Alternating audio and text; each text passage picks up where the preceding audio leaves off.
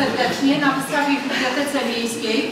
E, dzi- dzisiejszy wetnicarz e, e, otwiera wystawę poświęconą e, Marii Konopnickiej.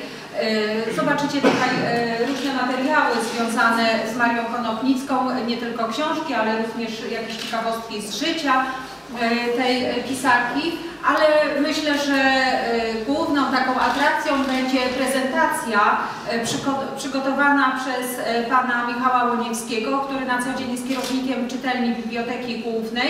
Myślę, że w jakiś sposób przybliży e, życie i twórczość Marii Konopnickiej i czegoś się więcej dowiecie.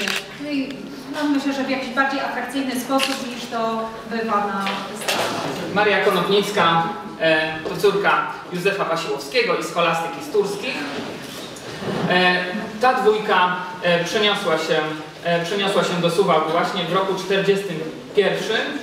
Mieli przed jeszcze Marią Konopnicką córkę Wandę Zenobię. Tak, I przenieśli się właśnie do Suwałk, do domu rejenta Jana Zapiórkiewicza.